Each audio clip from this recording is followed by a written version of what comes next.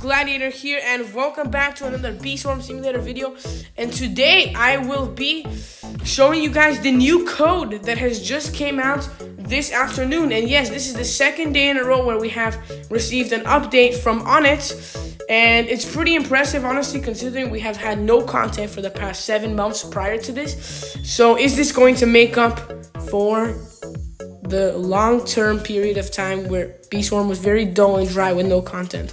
No, of course not, obviously. But anyways, that's beside the point. Let's go ahead and check out this new code.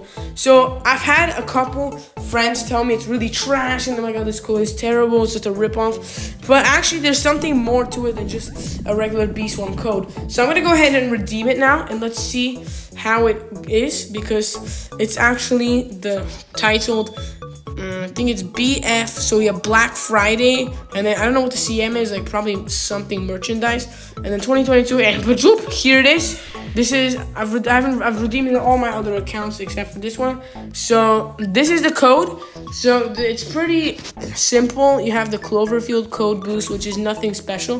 But then you have this little message text, which is nice try. This code is actually used for 20% off at beeswarm.com. So what essentially this is supposed to imply is that obviously you've probably heard about Onett's new toys and merchandise, all the products he's selling on his website. So uh, you can go ahead and go onto his website and redeem this code, and you get 20% off on all the products you purchase off of his website, which is pretty cool. And I, there's no information on how long this code is going to be redeemable for. So, like, I'm not sure when it's going to expire. I don't think there's any knowledge on that, but we will receive it from Onett most likely.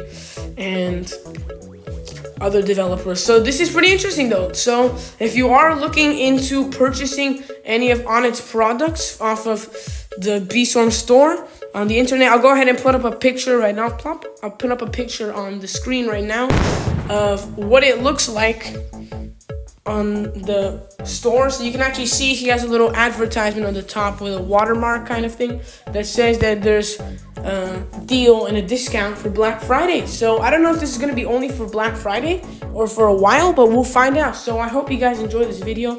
That's pretty much all I have. But hopefully Onett keeps on su supplying us with these daily updates or whatever his plans are.